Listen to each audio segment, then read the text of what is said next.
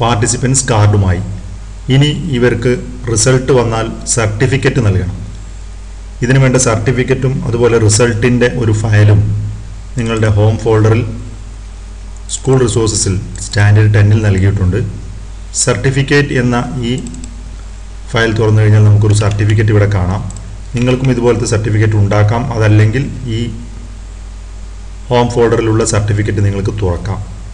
മറ്റൊന്ന് result dot O D T എന്ന ഒരു ഫയലാണ് result dot O D T എന്ന ഫയലിൽ ഇവരുടെ കുട്ടികളുടെ റിസൾട്ടും നൽകിയിട്ടുണ്ട്. ഈ റിസൾട്ട് വെച്ചുകൊണ്ട് നമുക്ക് ഇവർക്കൊക്കെ ഉള്ള സർട്ടിഫിക്കറ്റുകൾ മെയിൽ മെർജ് ഉപയോഗിച്ചുകൊണ്ട് എങ്ങനെ ചെയ്യാം? മെയിൽ മെർജ് ചെയ്യുന്നതിന് വേണ്ടി നമ്മൾ ഇൻസേർട്ടിലെ ഫീൽഡ്സിൽ മോർ ഫീൽഡ്സ് ക്ലിക്ക് ചെയ്യുന്നു. മോർ ഫീൽഡ്സിലെ ഡാറ്റാബേസ് ടാഗിൽ നിന്ന് മെയിൽ മർജ് ഫീൽഡ്സ് സെലക്ട് ചെയ്ത് ബ്രൗസ് ചെയ്യുന്നു.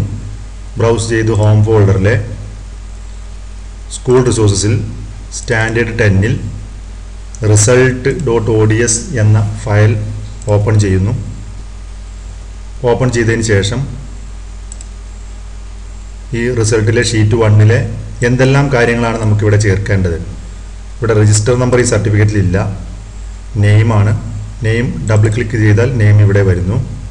അടുത്തത് ക്ലാസ് അതുപോലെ ഇനം.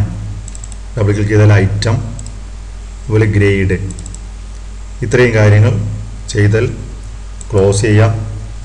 ക്ലോസ് ചെയ്ത് ഇത് സേവ് ചെയ്യാം.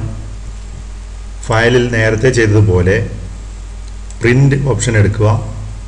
യെസ് ക്ലിക്ക് ചെയ്യുക. ക്ലിക്ക് ചെയ്യുന്ന സമയത്ത് ഇത് പ്രിന്റ് പ്രിന്ററിലേക്ക് ഔട്ട്പുട്ട് വേണോ അതോ ഫയൽ സേവ് ചെയ്യണോ എന്നുള്ള ഭാഗത്ത് ഫയൽ സേവ് ചെയ്യുക എന്ന ഓപ്ഷൻ സെലക്ട് ചെയ്ത് ഓക്കെ ക്ലിക്ക് ചെയ്യുക. ഈ ഫയലിനൊരു പേര് സർട്ടിഫിക്കറ്റ് എന്ന് പേര് നൽകി നിങ്ങളുടെ ഹോം ഫോൾഡറിലുള്ള സ്റ്റുഡൻസ് അണ്ടർസ്കോർ വർക്ക് ടെൻ അതിൽ സേവ് ചെയ്യുക. മുപ്പത് കുട്ടികൾക്കുള്ള സർട്ടിഫിക്കറ്റ് റെഡി. നമുക്ക് ഇതൊന്ന് തുറന്ന് കാണാം. ഹോം ഫോൾഡറിലെ സ്റ്റുഡന്റ് വർക്ക് സ്റ്റാൻഡേർഡ് ടെന്നിലുള്ള സർട്ടിഫിക്കറ്റ്